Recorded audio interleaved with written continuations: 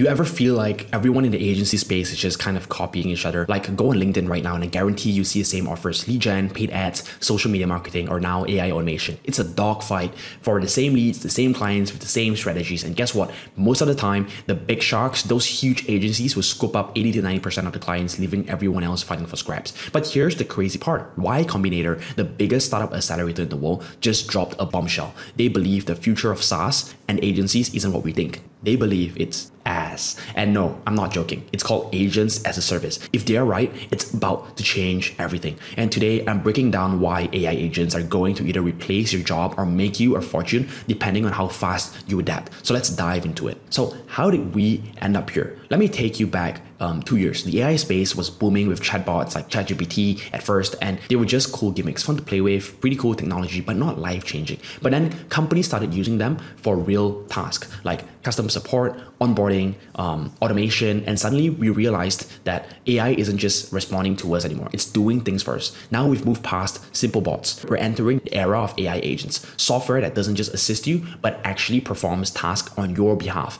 Think of it like hiring an employee, except they don't take breaks, they don't complain, and they don't cost $50,000 a year. And this is where things get interesting. Let's break it down. What exactly does AI agents do, right? There are two things primarily in two main ways. The first one will be guided execution. You program them with super precise instructions like a workflow. And number two will be autonomous execution. They take action, right? They take action, they make something happen. You let them take over your screen, your mouse, your keyboard, and they just kind of do the job, right? This is happening right now, and AI agents are actually already filling up spreadsheets, responding to emails, booking appointments, and even running entire marketing campaigns. And you're getting better every single day. When I first saw this, I was like, super skeptical. I thought no way AI can replace real work, right? But when I tested it, I ran a small AI agent for a lead generation task, and which normally takes maybe hours of manual work. This AI did it in like 15 minutes, and it was like 10x more efficient than a VA because I know there will not be any human error in it. And I think this is when it hit me when I realized this is a new revolution. So the impact on the economy, if we're being real here, this is going to be changing the entire job market in a very big way. And right now, the cost versus productivity equation looks something like this, right?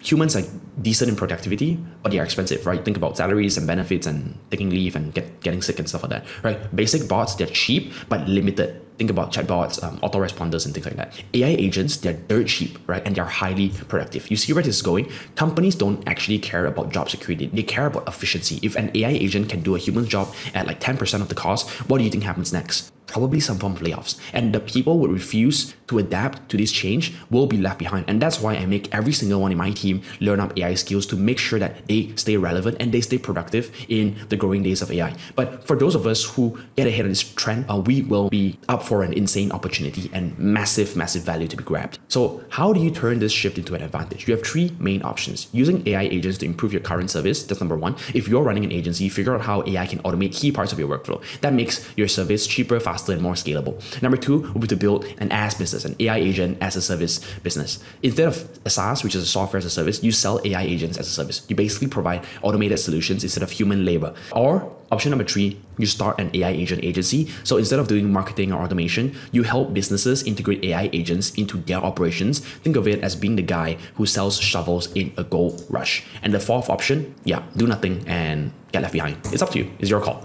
So here I'm going to talk about some of my take on the future predictions. I think that by 2024, uh, we will be seeing more developer tools, making AI agents easy to build. No need for to be super technical. Just need to know how to hire the right developers. And by 2026, AI agents will be at a point where they can replace entire job functions. Think about multi-agent collaborations where AI working with other AIs to run entire workflows with zero human input. And beyond that, we will have self-improving AI agents that can adapt and evolve. And at that point, we're talking talking about a whole new economy. And honestly, even I know that my own job is at risk. Right? I build AI automation solutions and I run a coding school, and, and I know AI agents will eventually do things better than me. But here's the thing: I don't see this as a problem. I see this as an opportunity. The people who embrace this shift early will be the ones who, who will be controlling and dominating the future. And the rest, I'm not too sure, but you probably wouldn't want to be in that group, right? So if you want to stay ahead of the curve, now is the best time, the optimal time to start. And if you're serious about implementing AI agents and AI tools into your business, I'm taking on a few clients each month to help make this transition. So check the link in the description. The company I'm running is called northstackai.com.